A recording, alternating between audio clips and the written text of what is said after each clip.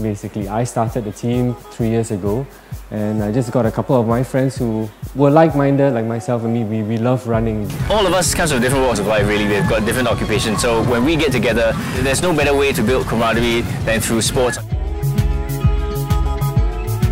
We converted this hobby into a, a cause to the awareness and raising funds for Singapore Cancer Society. Every year we've been running a minimum of 10 races to just do what we love doing and at the same time raising awareness and funds for cancer survivors, cancer patients, their families. All of us have been affected by cancer in one way or another. Every time it happened, we were always caught in a situation where we didn't know what we could do because we're not doctors, we're not nurses. This was the only way we knew how. You may not be a doctor, yes, you may not have the required knowledge. But yes, you can help them raise funds and get people around you to help. You are not that helpless.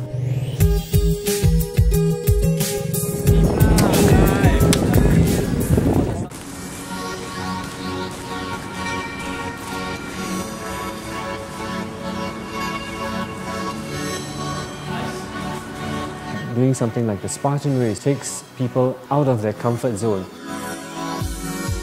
You have to put in just that little bit more strength training, cardio, put in that little bit more effort. And while you're doing it, you're having fun and you're getting yourself healthy and fit at the same time. And in three, two, one, I think the Spartan race is really different because it's different obstacles it tests different aspects of your body. Of course, it's a lot more fun as well, especially if you do it as a group. It's building that camaraderie, going through all the obstacles together.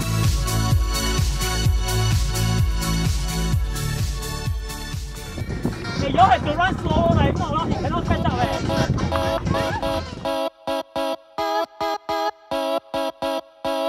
I start the race, I'm excited.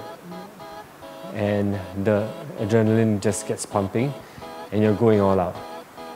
And then you get into a rhythm and you're comfortable. Then you see people passing you and then you're going, oh God. That's where the mental aspect comes in, you know, and that's where you start fighting with yourself.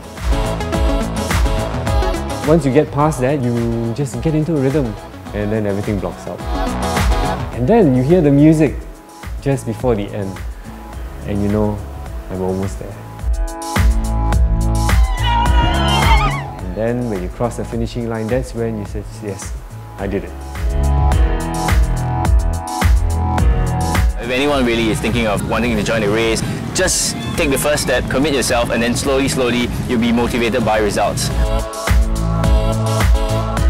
You push yourself, and that's what the Spartan spirit is all about, is finding the spirit within you to push forward, to challenge yourself.